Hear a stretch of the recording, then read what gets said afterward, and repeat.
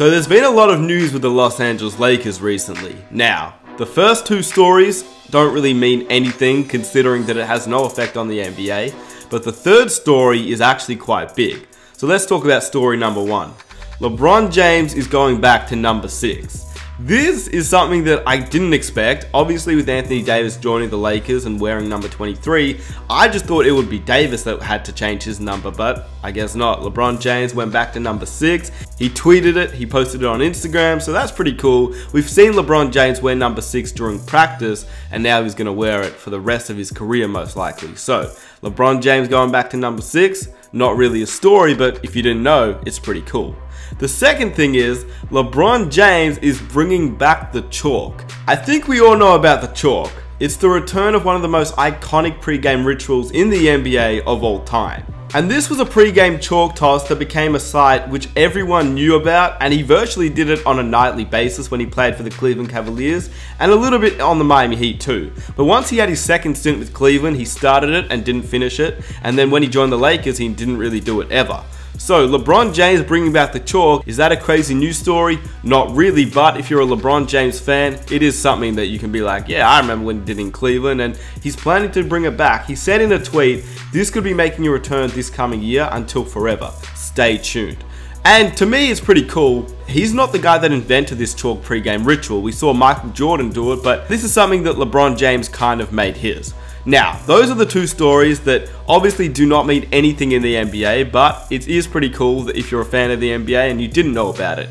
Now, the third story is actually what matters, and this is why the Los Angeles Lakers are looking very, very good next season, considering that they will have a max opening in the free agency of 2019. So the news follows as Rob Pelinka is now shipping the former first round pick Mo Wagner, the former second round pick Isaac Bonga, and a D-League player in Jemerrio Jones to the Washington Wizards, along with a future second round pick in exchange for cash. These three players in Wagner, Bonga, and Jones are three players on the Lakers roster that needed to be traded so the Lakers could free up cap space.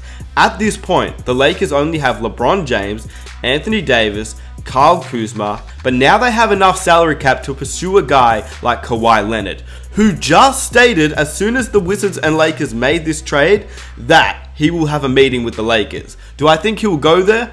Probably not, but stay tuned for my predictions video coming out later today. I believe now the Lakers will be a destination team for at least one superstar free agent, but the thing is, I do not know what they're going to do, if they're going to target a massive free agent like Kyrie Irving, D'Angelo Russell, Kawhi Leonard, Klay Thompson, or if they'll try and get their bench depth even better. Because considering that they don't get a lot more cap space than they previously had, they get about 6 million extra dollars considering of what they had before, which is about $24 million.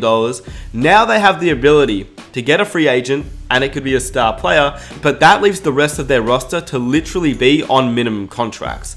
But if the Lakers choose to go out and get depth, they could have a team like Rondo, Kuzma, LeBron, Davis, DeAndre Jordan, and then they can have the depth on the bench, such as a guy like JJ Redick, and a few other pieces that can fill the Lakers roster as a whole, instead of having a guy like D'Angelo Russell who is a great player, don't get me wrong, but then you're going to have veteran minimum guys, and then you won't be able to get a guy like JJ Redick, and you won't be able to get a guy like DeAndre Jordan, and you're literally going to have guys that could be on that team that want to play there, but they're still not good enough to get you to the next level, as we saw with the Golden State Warriors when they had their injuries.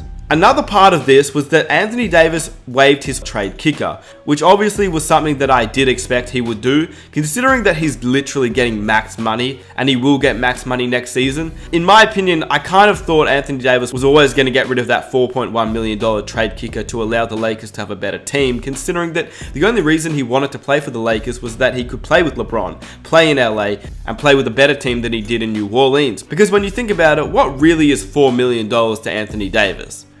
Yeah, not much. Just like to most NBA players, LeBron James could pass $4 million to Anthony Davis and no one would even know about it. So, I had no doubt in my mind that Anthony Davis was going to waive his $4 million trade kicker, and he did, which leaves the Lakers in a very, very good situation.